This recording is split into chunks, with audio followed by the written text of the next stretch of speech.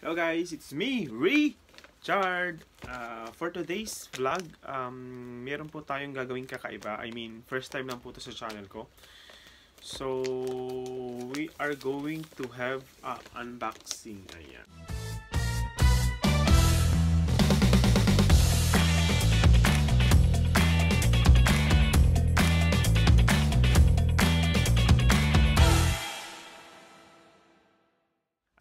Welcome back to my channel guys. So, kung bago po kayo sa channel ko, please um, don't forget to like and subscribe. Ayan, uh, for today's video, I'm going to have an unboxing. Ayan, first time ko pong mag-unbox. So, wag niyo po akong i-judge. Hindi po ako expert sa pag-unboxing. Try ko lang pong uh, i-unbox po yung uh, gift po sa akin ng akin pong my loves. Mega shout out sa Yoshi na Encarnacion thank you naman sa iyong pa-surprise gift. Hindi mo talaga ako nakakalimutan. I mean, hindi ka um, nag ano, tawag dito. You never fails to to surprise me sa mga pa ano mo sa mga pa-gift mo diyan.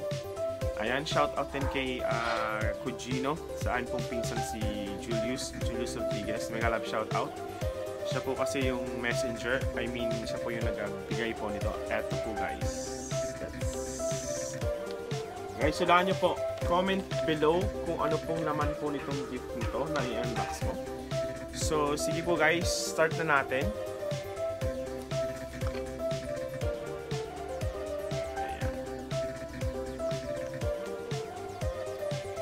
Ayan. Po. Sige guys, buksan na po natin po yung gift. Tingnan po natin kung ano po talagang ang kung ano po to.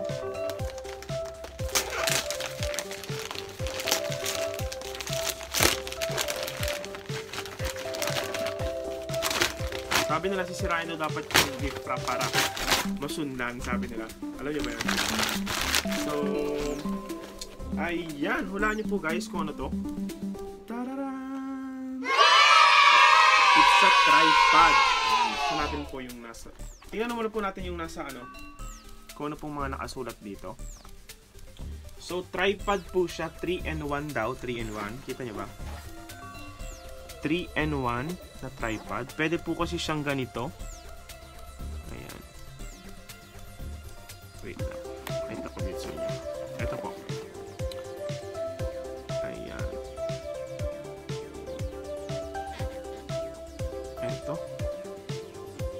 Pwede po siya sa iPad, sa cellphone. Ito, tapos pwede pa siyang ano, uh, ibaliktad. Tingnan natin mamaya. Ganito po. Ayan. Sabi dito, smartphone holder, tablet holder, thread, sabi niya, thread ito. Tapos ganito siya, yung style niya. Ito guys. Pwede din siyang ano, halimbawa meron kayong ipi-play ng mga lyrics. Ayan, ganito. So, buksan na natin guys.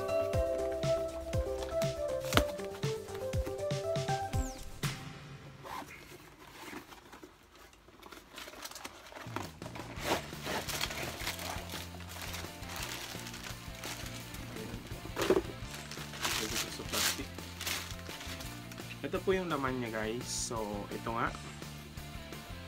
Ito yung pinaka-stand niya. Tapos, sa kabilang plastic,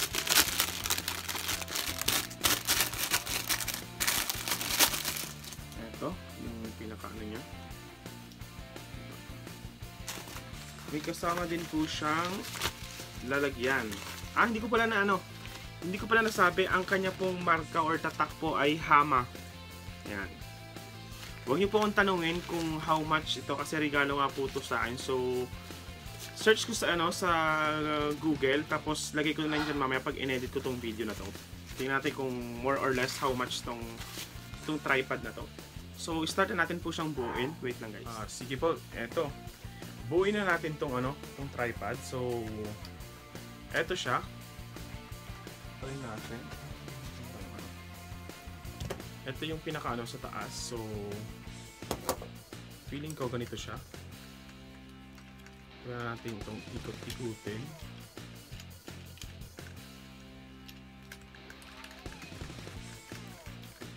ating set up muna. So, kailangan kong ano, itaas dito. Tingnan natin dito. Higpitan natin. And then this one, lagay natin dito.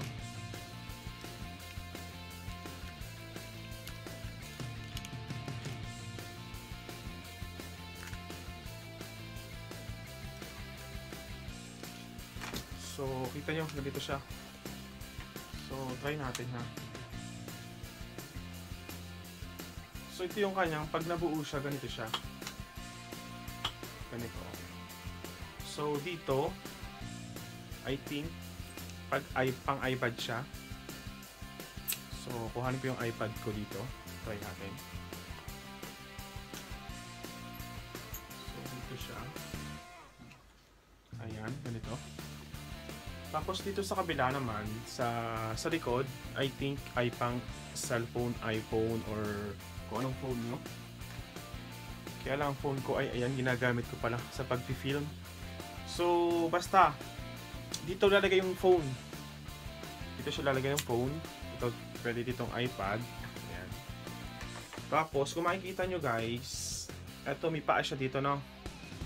Pwede din po pala siyang, ano, um, pa pahabain or pataasin. So, try natin ha. So, lalagyan natin ito. Ito po yung pinaka ano niya, pinaka dulo niya. So, ilalak natin isa-isa.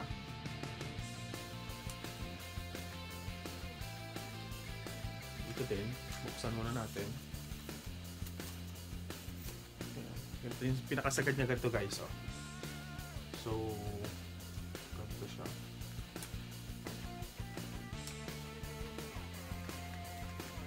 Tapos ito yung pangatlo.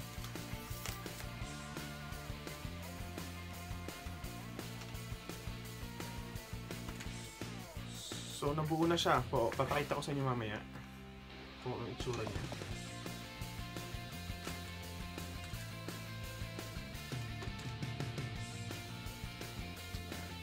Think pwede siya pang outdoor. So, ito, ito siya guys. So guys, ganito po yung ano itsura niya pag nabuo. Ayan, kita niyo ba? So, ganyan siya kataas. Ano yung pinakaano niya? Paa.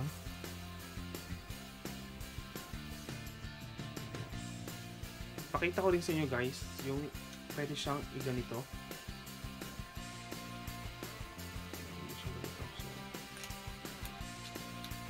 Ikutin na natin dito para, ano, para mag-fix siya. Ayan. Pwede din kung gusto nyo, ganito ang style nyo. Yun lang. So, I think, napakita ko na naman sa inyo lahat. Ito po. Di ba? Vlogger na vlogger ng ating ang dating ano. Vlogger ba ako, guys? Di pa kasi nagsisink in. So, ayan. And so, guys, that's it for today's uh, video. Uh, gusto ko lang i-shout out si My Labs ko. Thank you sa gift na to. For sure, magagamit ko talaga to sa bago kong career. Bagong career. So, thank you, thank you sa iyo, My Labs, kasi super, super supportive mo lagi kang andyan, um, nakasupport, nakasuporta ka talaga sa YT journey ko mula nung nag-umpisa ako hanggang ngayon, hindi ka nagsasawang sumuporta. Nagpupuyat ka rin, halimbawa meron ako mga LS or ano. Ikaw din yung punong abala sa mga, minsan sa mga editing ko, sa mga um, um, pag-aayos ng channel ko. So, maraming maraming maraming salamat sa iyo, my loves. Uh, ingat ka dyan sa Pilipinas at saka mahal na mahal kita. Love you. Ayan guys, um, thank you po. Uh, gusto ko lang pong i-shout out yung may nagpapa-shout out po sa akin sa taga Pilipinas si Lester Garjola uh, Magsino. Mega love shout out sa iyo kaibigan from the Philippines. Also sa Team Tamsakmatic dyan sa lahat ng Team Tamsakmatic sa aking mga katuwads. Uh, my extra life family sa mga members ko dyan. Hindi ko na kayo isa-isa so thank you thank you sa mga support.